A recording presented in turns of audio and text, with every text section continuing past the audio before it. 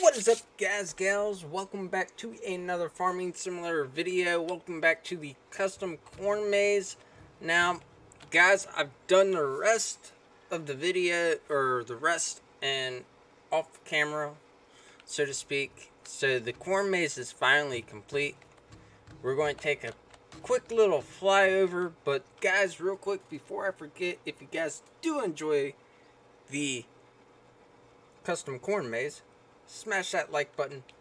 If you want to check it out, we'll be uh, streaming on YouTube here. The actually, I think we're doing it this weekend.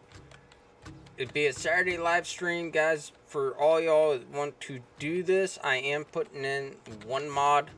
It will be cross-platform. It is the KTM's uh, dirt bikes there is like four or five different ways to complete this thing. So let's uh, hop up into the sky here. And I'll give you all a little bit of an idea of what it looks like from above.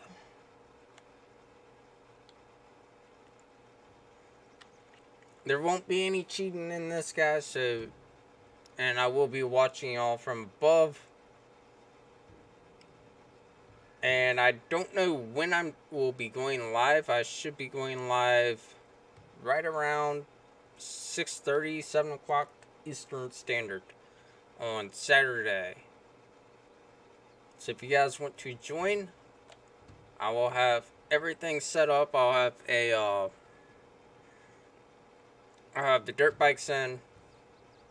I will put the dirt bikes in the stream comments or pin comments so you guys know which mod is which. But all in all, I think I did outdid myself with this. It actually looks really good. And I really enjoyed doing this. So, thank you guys so much for all the support over the years. And I wanted to give you all something unique to try and run through. So, we'll see y'all in the live stream on Saturday.